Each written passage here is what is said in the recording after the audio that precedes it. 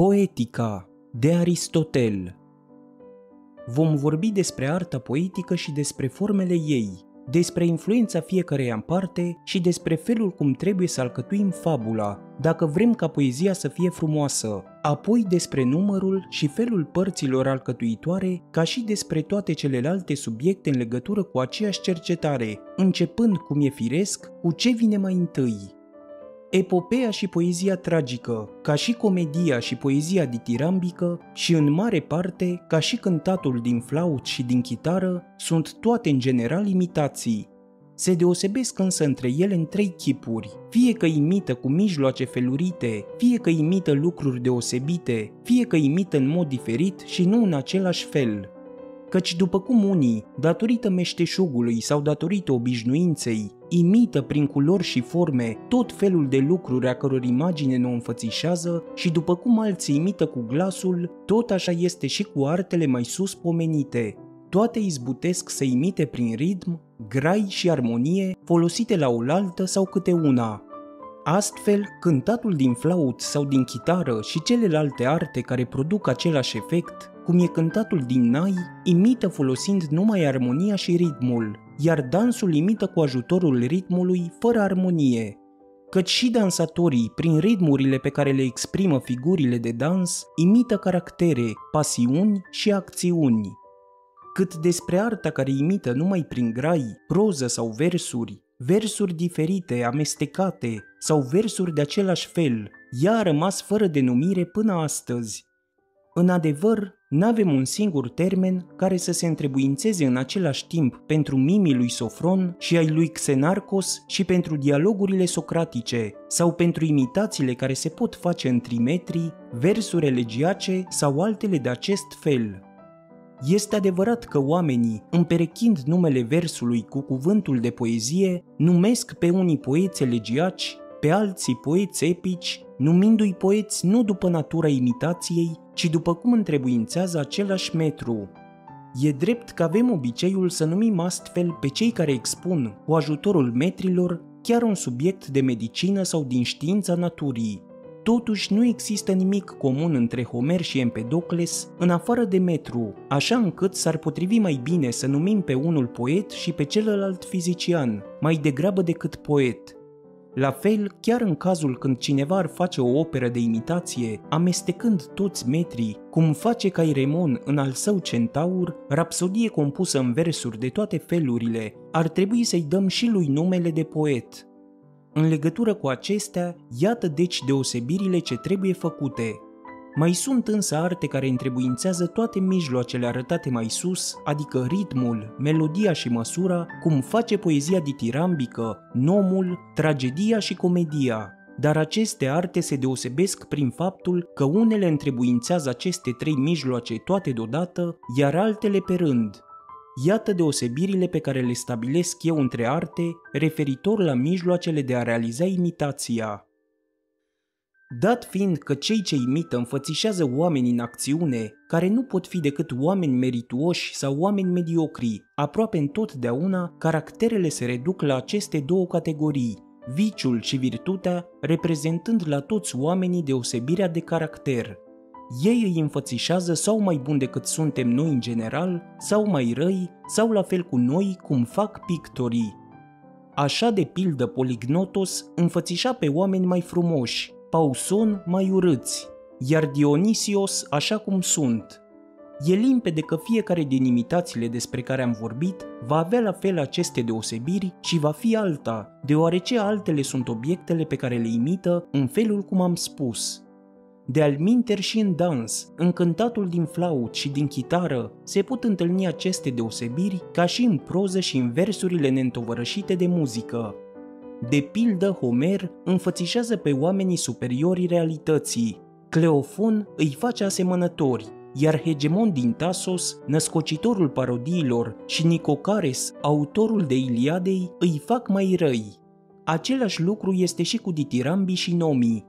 Oamenii pot fi înfățișați așa cum sunt ciclopii lui Timoteus și Filoxenos. Aceeași deosebire desparte tragedia de comedie, aceasta din urmă vrea să înfățișeze oamenii inferiori realității, cealaltă vrea să-i arate mai bun decât sunt în realitate. Mai există între aceste arte și o a treia deosebire, care constă în felul de a imita fiecare dintre aceste obiecte. În adevăr, cu aceleași mijloace și luând aceleași modele, se poate imita povestind, fie că se povestește prin gura altuia, cum face Homer, sau autorul își păstrează propria persoană fără a o schimba, sau înfățișând toate persoanele în acțiune, în mișcare. Iată deci cele trei deosebiri pe care le prezintă imitația, cum am spus-o de la început, deosebiri referitoare la mijloace, la obiectul de imitat și la felul imitației. Astfel, într-o privință, îl putem considera pe Sofocle un imitator de același fel ca Homer, căci amândoi imită personaje cu o fire aleasă, iar pe de altă parte îi putem considera un imitator de felul lui Aristofan, căci amândoi imită personaje care acționează, personaje de dramă. După spusa unora, aceasta a făcut ca operele lor să fie numite drame, pentru că ei imită personaje în acțiune. Tot pentru aceeași pricină își însușesc dorienii, tragedia și comedia. Comedia este revendicată și de megarieni, de cei de aici, după care ea ar fi luat naștere pe când erau sub cărmuire democratică, și de cei din Sicilia, fiindcă într-adevăr din Sicilia se trăgea poetul Epicarmos, care a trăit cu mult înaintea lui Chionides și a lui Magnes. Tragedia este revendicată de câțiva dorieni din Pelopones. Acestea ar fi de spus cu privire la numărul și felul deosebirilor care se găsesc în imitație se pare că în general două sunt cauzele care au dat naștere poeziei și amândouă sunt cauze firești. A imita este un dar firesc al oamenilor și se arată chiar din copilăria lor. Omul se deosebește de celelalte animale prin aceea că este foarte priceput la imitație și datorită acesteia își dobândește el primele cunoștințe. Pe lângă acestea, toți oamenii simt plăcerea de a imita, Dovada este ceea ce se petrece în realitate. Ne place să privim imaginea executată cu cea mai deplină exactitate a unor ființe a căror original ne scârbește vederea, de pildă formele animalelor celor mai dezgustătoare și ale cadavrelor. O altă explicație a acestui fapt este că a învăța este o plăcere, nu numai pentru filozof, dar și pentru ceilalți oameni, atâta doar că aceștia o gustă prea puțin, ne place vederea imaginilor pentru că privindu-le învățăm și ne dăm seama de ceea ce reprezintă fiecare lucru, de pildă că această figură este cu tare. Dacă n-am văzut mai dinainte obiectul înfățișat, lucrarea nu ne va plăcea ca imitație, ci din pricina execuției, a culorii sau unei alte cauze de acest fel. Darul imitației fiind născut în noi ca și armonia și ritmul, căci este limpede că măsurile nu sunt decât părți ale ritmurilor. Dintr-un început, cei care erau mai înzestrați în această privință se desăvârșiră încetul cu încetul și din improvizațiile lor luă naștere poezia. Poezia s-a împărțit după felul de a fi al fiecărui autor. Cei cu sufletul ales imitau faptele frumoase și acțiunile oamenilor merituoși, autorii vulgari imitau faptele oamenilor josnici, alcătuind mai întâi de făimări, după cum alții alcătuiau imnuri și laude. Nu putem cita niciun poem de acest fel la înaintașii lui Homer, deși e de crezut că mulți au compus asemenea poeme. De la Homer încoace se poate cita de pildă Margites al său și poemele asemănătoare, unde își făcu apariția potrivit subiectului și metrul numit iambic, nume ce îi se dă și astăzi, pentru că era folosit la aruncarea înțepăturilor. Așadar, dintre vechii poeți, unii alcătuiră poeme în versuri eroice, alții în versuri iambice. În ce privește pe Homer, el a strălucit în același timp în genul serios. Într-adevăr, el singur a compus opere care nu numai că sunt frumoase, dar reprezintă și imitații dramatice, și tot el cel din tâi a arătat forma viitoare a comediei. În loc să compună de făimări, el a făcut din ridicol o imitație dramatică, deoarece Margites este pentru comedii ceea ce Iliada și Odiseea sunt pentru tragedii. Când tragedia și comedia își făcură apariția, poeții care îmbrățișau unul dintre aceste două genuri, după înclinarea lor firească, deveniră unii poeți comici în loc de poeți ambici și alții poeți tragici în loc de poeți epici pentru că aceste ultime forme literare erau mai ample și mai prețuite decât cele din tâi. În ce privește cercetarea, dacă tragedia a atins acum de plină dezvoltare a elementelor din care e formată, a judeca acest lucru în sine sau în raport cu reprezentațiile este o altă problemă. Născută deci la început din improvizație, tragedia, ca și comedia, tragedia a cărei origine se trage de la autorii de ditirambi, comedia care își trage originea de la autorii acelor cântece falice, păstrate încă până astăzi în multe cetăți. Tragedia crescu încetul cu încetul, pentru că se dezvolta tot ce îi aparținea ei în mod vădit și după mai multe schimbări, când tragedia își găsi firea ei adevărată, ea încetă să se mai schimbe. Eschil, cel din tâi, a ridicat numărul actorilor de la 1 la 2, a micșorat importanța corului și a dat rolul de căpetenie dialogului. Sofocle spori numărul actorilor la 3 și introduse decorul scenic. Pe lângă acesta, tragedia luă altă întindere, părăsind subiectele mărunte și limbajul glumeț, care îi veneau de la obârșia ei satirică și într-un târziu câștigă gravitatea. În ce privește metrul, tetrametrul trohaic fu înlocuit prin trimetrul iambic. La început se întrebuința tetrametul, pentru că poezia era satirică și mai apropiată de dans, dar când s-a introdus dialogul, însuși natura a inspirat metrul cel mai potrivit, căci dintre toate metrele, trimetrul iambic este cel mai apropiat de graiul obișnuit. Dovada e că în dialog noi facem foarte mulți trimetri iambici, dar rare ori hexametri, și numai atunci când ne îndepărtăm de tonul convorbirii. Ar mai fi de vorbit despre numărul episoadelor și despre celelalte înfrumusețări care s-au adăugat la fiecare parte. Nu ne oprim la acestea, căci desigur ar fi o muncă prea îndelungată cercetarea lor punct cu punct. Comedia este, cum am spus, imitația unor oameni cu o morală inferioară, nu imitația oricărui fel de viciu, ci a celor din domeniul ridicolului, care este o parte a urâtului.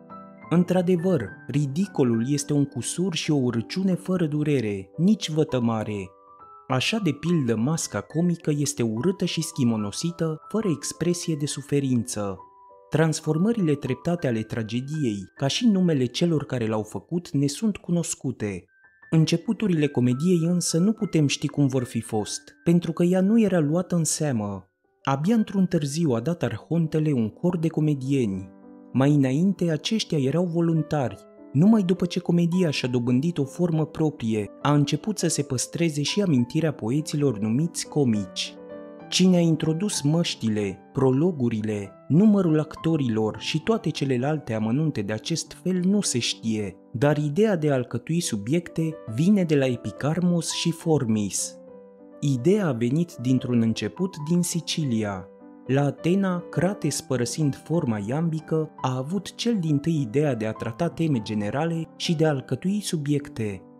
Epopeea se aseamănă cu tragedia, prin aceea că este o imitație cu ajutorul metrului a unor oameni de înaltă valoare morală, dar se deosebește de aceasta prin aceea că ea întrebuințează un metru uniform și este o povestire. Mai este o deosebire în privința întinderii. Tragedia se silește să fie cuprinsă pe cât e cu putință în limitele unei singure rotiri a soarelui, sau să nu depășească decât cu puțin, pe când epopeea nu e limitată în timp, ele se deosebesc deci și prin aceasta. Totuși, la început, poeții procedau la fel, atât în tragedii cât și în epopei. În ce privește elementele alcătuitoare, unele sunt aceleași, altele sunt proprii tragediei. De aceea cine știe să deosebească o tragedie bună de una rea, știe să facă deosebire și în privința epopeii, deoarece elementele pe care le cuprinde epopeea se găsesc în tragedie, dar elementele tragediei nu se găsesc în epopee. Vom vorbi mai târziu despre arta de a imita în hexametri și despre comedie. Să vorbim despre tragedie, luând definiția naturii ei care reiese din ceea ce am spus, Așadar, tragedia este imitația unei acțiuni alese și depline, cu o anumită întindere, într-o limbă frumoasă, deosebită ca formă, potrivit diferitelor părți ale tragediei, imitație făcută de personaje în acțiune, iar nu printr-o povestire și care stârnind mila și frica, săvârșește purificarea caracteristică unor asemenea emoții. Numesc o limbă frumoasă limba cu ritm, armonie și cânt, și înțeleg prin deosebită ca formă că unele părți sunt realizate numai cu ajutorul metrului, pe când altele din potrivă sunt făcute cu ajutorul cântului. Cum imitația este făcută de personaje în acțiune, trebuie să considerăm mai întâi ca o parte a tragediei întocmirea spectacolului. Pe urmă vin cântul și limba, căci acestea sunt mijloace întrebuințate pentru săvârșirea imitației. Numesc limbă o rânduire a versurilor, cât despre cântec, cuvântul are un înțeles foarte limpede. Pe de altă parte, fiind vorba de imitarea unei acțiuni și cum aceasta presupune personaje în acțiune care trebuie înfățișate așa cum sunt, după caracterul și gândirea lor, căci numai ținând seama de aceste deosebiri putem caracteriza acțiunile omenești. Două sunt cauzele firești care hotărăsc acțiunea, anume gândirea și caracterul și totdeauna numai acțiunile ne fac să izbutim sau nu. Imitația acțiunii constituie subiectul, deoarece înțeleg prin subiect îmbinarea faptelor săvârșite. Numesc caracter ceea ce ne face să spunem despre personajele pe care le vedem acționând că au anumite însușiri. Înțeleg prin gândire tot ceea ce spun personajele pentru a dovedi ceva sau pentru a declara ceea ce hotărăsc. Prin urmare, în orice tragedie trebuie să găsim șase părți alcătuitoare care o fac de un anumit fel, anume subiectul, caracterele, limba, cugetarea, spectacolul și cântul.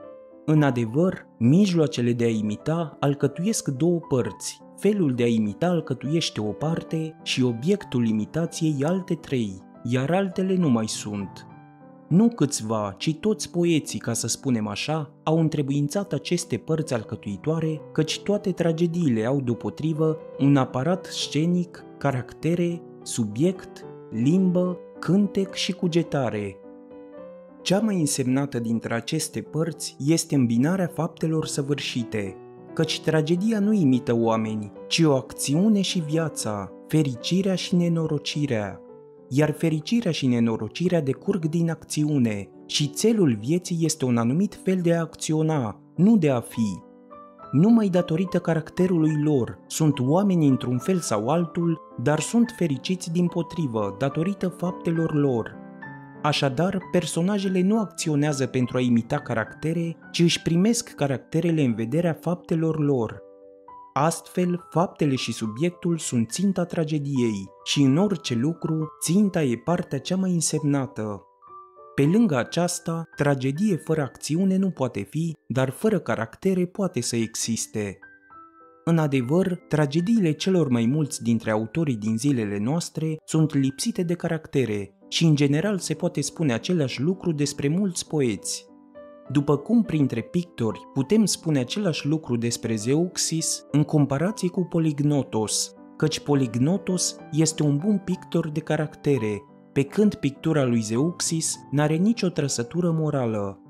Mai mult, dacă înșirăm niște tirade care oglindesc un caracter, oricât de izbutit ar fi el în privința limbii și a cugetării, nu vom realiza ceea ce este rostul în sine al tragediei, ci vom realiza acest lucru mult mai bine cu o tragedie inferioară din punctele de vedere amintite, dar care are un subiect, o îmbinare de acțiuni. Să adăugăm că într-o tragedie, izvorul cel mai însemnat de plăcere pentru sufletul spectatorului se găsește în părțile subiectului, adică în peripeții și în recunoașteri, o altă dovadă este că începătorii în poezie ajung la adevărul exact în expresie și în caractere înainte de a ști să îmbine acțiunile, cum este cazul la aproape toți poeții vechi. Așadar, subiectul este începutul și oarecum sufletul tragediei. Numai în al doilea rând vin caracterele. Cu drept cuvânt, se petrece cam același lucru ca și în pictură, dacă cineva ar pune la un loc cele mai frumoase culori, ar încânta mai puțin ochiul decât desenându imagine.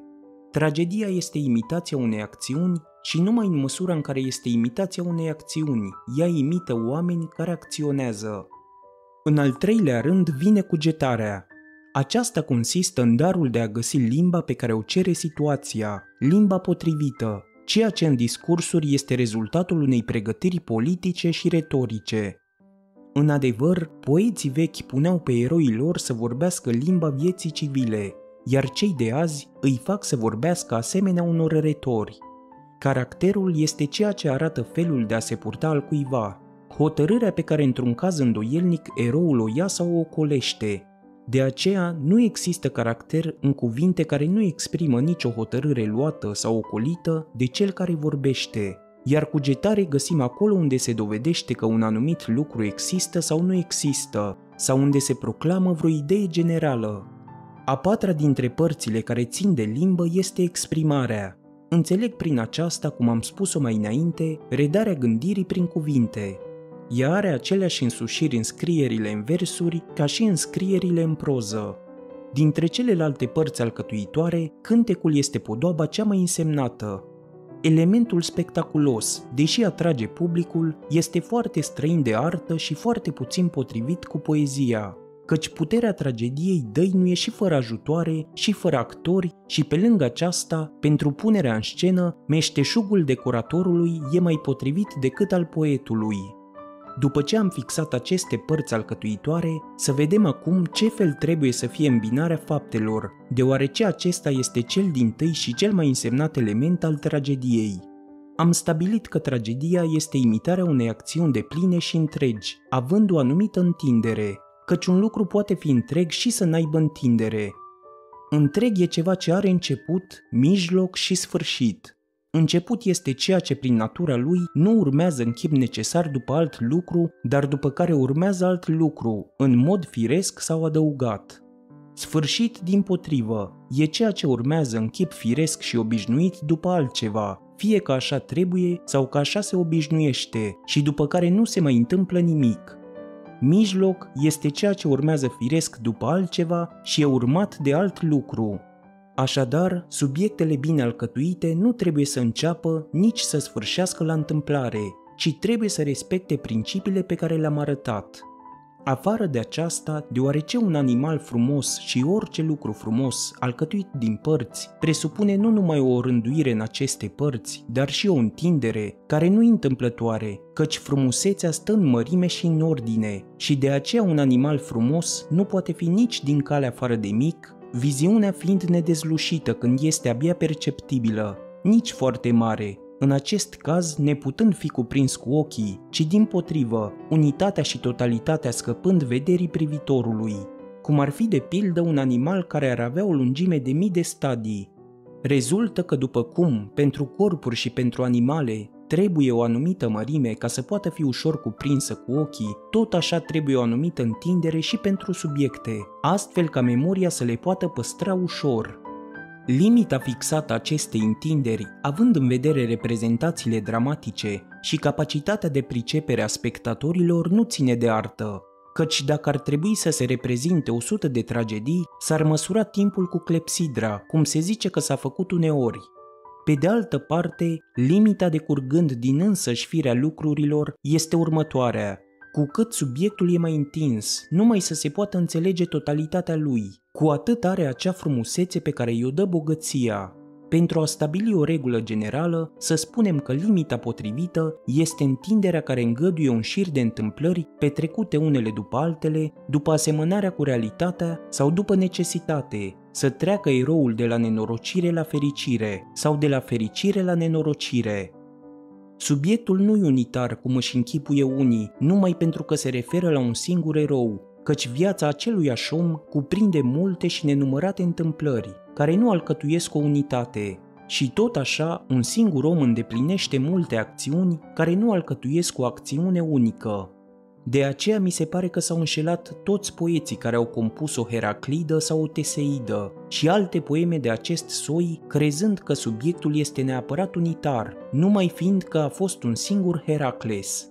Homer însă, așa cum îi întrece în toate privințele, pare că a văzut bine și aici, datorită fie meșteșugului său artistic, fie geniului său, Compunând Odiseea, el n-a povestit toate întâmplările din viața lui Ulise, de pildă că a fost rănit pe Parnas și că s-a prefăcut că e nebun la adunarea grecilor, întâmplări care niciuna nu decurge din cealaltă în mod necesar sau verosimil, ci a compus Odiseea sa în jurul unei singure acțiuni, așa cum înțelegem noi și la fel și Iliada.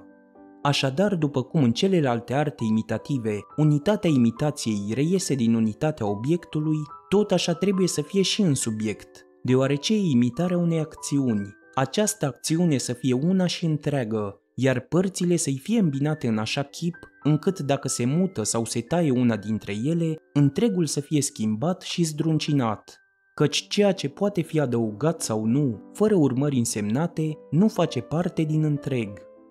Din cele spuse până aici, reiese lămurit că rostul poetului nu este de a povesti lucruri întâmplate cu adevărat, ci de a povesti ceea ce s-ar putea întâmpla. Întâmplările sunt posibile după asemănarea cu realitatea sau după necesitate. În adevăr, istoricul și poetul nu se deosebesc prin faptul că unul își prezintă povestirea în versuri și celălalt în proză. S-ar fi putut pune în versuri opera lui Herodot și versificată tot istoria ar fi rămas cum era în proză. Ei se deosebesc din potrivă, prin aceea că unul povestește întâmplări care au avut loc, iar celălalt întâmplări care ar putea să se petreacă. De aceea, poezia este mai filozofică și mai aleasă decât istoria, căci poezia povestește mai mult ceea ce e general, pe când istoria ceea ce e particular. A povesti ceea ce e general înseamnă a pune pe un personaj înzestrat cu o anumită fire să spună sau să facă cu tare sau cu tare lucruri, după asemănarea cu realitatea sau un chip necesar. La această înfățișare năzuiește poezia și apoi dă nume personajelor, a povesti particular este ceea ce a făcut Alcibiade sau ceea ce i s-a întâmplat. În ce privește comedia, lucrul acesta este evident. Poeții dau personajelor nume proprii luate la întâmplare numai după ce au alcătuit subiectul cu ajutorul unor acțiuni verosimile, nu ca poeții iambici care compun pe seama unui individ sau altul. În tragedie, poeții păstrează numele oamenilor care au trăit aievea, fiindcă ceea ce e posibil e lesne de crezut. Dacă însă nu credem deodată că e cu putință ceea ce nu s-a întâmplat, din potrivă, ni se pare cu totul neîndoielnic ceea ce s-a întâmplat cu adevărat, căci dacă n-ar fi fost cu putință, nu s-ar fi întâmplat. Cu toate acestea, în unele tragedii, numai un nume sau două sunt dintre cele cunoscute, iar celelalte născocite. În unele chiar nu-i niciunul singur, ca de pildă în Anteus al lui Agaton, Într-adevăr, în această piesă, atât faptele cât și numele sunt deopotrivă născocite și cu toate acestea, piesa nu place mai puțin. Așadar, nu trebuie să ne limităm numai decât la subiectele tradiționale în jurul cărora se învârtesc tragediile noastre.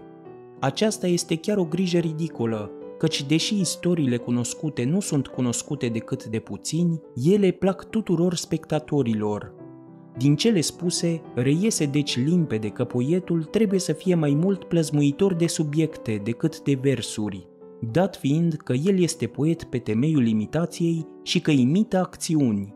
Și nu este mai puțin poet când îi se întâmplă să ia un subiect din faptele petrecute cu adevărat, deoarece nimic nu împiedică anumite întâmplări petrecute să fie de la sine verosimile și posibile, și prin aceasta, autorul care le-a ales este poetul lor, Dintre subiectele și acțiunile simple, cele episodice sunt cele mai puțin bune.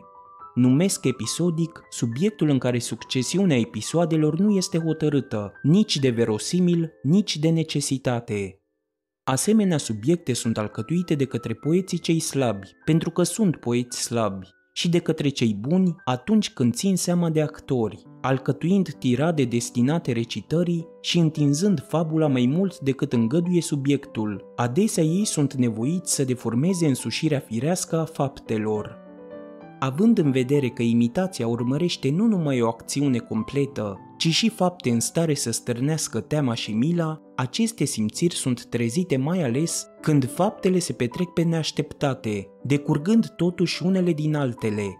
În felul acesta, efectul de a stârni mirarea va fi mult mai puternic decât dacă faptele ar decurge de la sine și din jocul întâmplării. Iar din faptele ce se datorează întâmplării, cele mai minunate par mai ales acelea care dau impresia că ar fi petrecute în adins, cum a fost cu statuia lui Mitis din Argos, care căzând peste omul vinovat de moartea lui Mitis l-a omorât, pe când acesta asista la o serbare, deoarece asemenea fapte nu par datorate întâmplării. reiese că fabulele alcătuite astfel sunt mai frumoase. Subiectele sunt unele simple, altele complexe, după cum acțiunile imitate de subiecte sunt și ele desigur tot așa. Spun că acțiunea este simplă când ea se desfășoară până la sfârșit, legată și unitară și când schimbarea soartei are loc fără peripeție și recunoaștere. Și e complexă când această schimbare se face cu recunoaștere sau peripeție sau cu amândouă. Acestea trebuie să ia naștere din însăși alcătuirea subiectului, așa fel încât să decurgă din faptele precedente pe calea necesității sau după asemănarea cu realitatea. Într-adevăr, e o mare deosebire dacă unele întâmplări se petrec din cauza altora sau vin după ele. Peripeția este răsturnarea acțiunii în sensul contrar, după cum s-a spus, și aceasta, repet, în chip verosimil sau necesar. Astfel, în Oedip, vestitorul vine cu gândul că îl va bucura pe Oedip și îl va liniști cu privire la maică sa, dar dezvăluindu-i cine este, pricinuiește efectul contrar, sau în linceu, eroul este dus la moarte și Danaos îl urmează pentru a-l ucide, dar desfășurarea evenimentelor face ca Danaos să piară și celălalt să scape. Recunoașterea, după cum o arată de altfel și numele, este o trecere de la neștiință la știință, care aduce trecerea de la ură la prietenie sau de la prietenie la ură, la personajele sortite fericirii sau nenorocirii. Cea mai frumoasă recunoaștere e cea întovărășită de peripeție, cum avem de pildă în Oedip.